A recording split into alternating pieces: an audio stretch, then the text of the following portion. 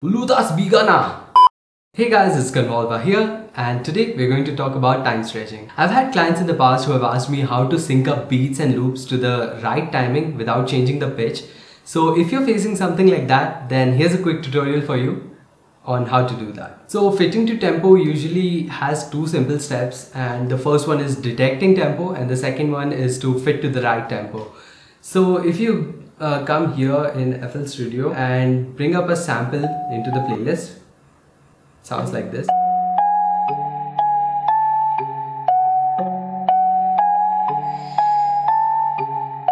So if you look here, I've got a sample loaded up into the timeline and here it says that it is 120 BPM, the sample, and the project's BPM is around 140. So when I play it with the metronome, you would see that it's kind of out of sync.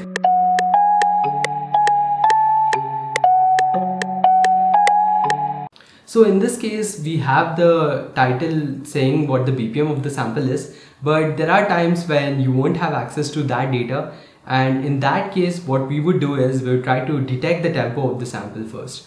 So to do that first, I'm going to go into this menu here and click on detect tempo and that would open up this dialog box over here which is going to have a couple of options for you. Now most often than not FL is going to do its own estimation of what the BPM of the sample is and that BPM is usually shown over here. For now you can see that FL has not done a good job and it thinks it is at 135 BPM when actually it is at 120 BPM. So for now what we are going to do is we are going to select a range which is closest to what the, the BPM which you think the sample might be in. So just by listening to it, you know, I can sort of take a guess and see how much the BPM would be.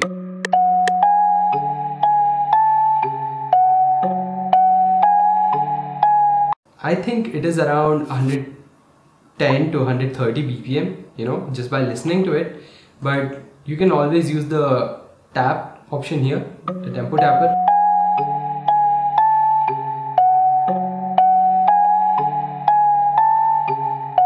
well you can see that it says around 118 119 or 120 bpm somewhere around that so i know what the closest BPM of the sample would be. So I'm gonna go back into detect tempo now and select a range which contains that value which was there when I tapped into the tempo tapper. So for this one I would select the 75 to 150 and you can see that FL Studio has detected the BPM as 120.008. Most often than not this number over here is not uh, required. You need to round it off to the closest BPM. So in this case the BPM would be 120.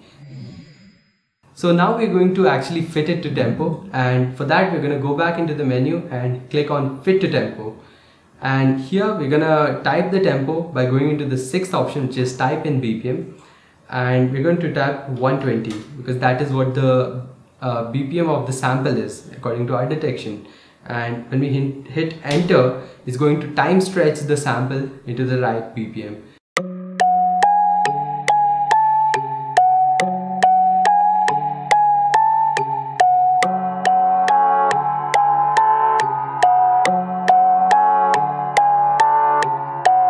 Now the sample is restretched into the project's actual BPM without changing the pitch. This works on about anything, it doesn't have to be just loops or melody patterns like this. You can apply the same trick to anything. If you want to do it manually then you can also do it using the time stretching feature that the audio clip comes with. I usually use the auto or stretch mode as they do a fairly good job at this.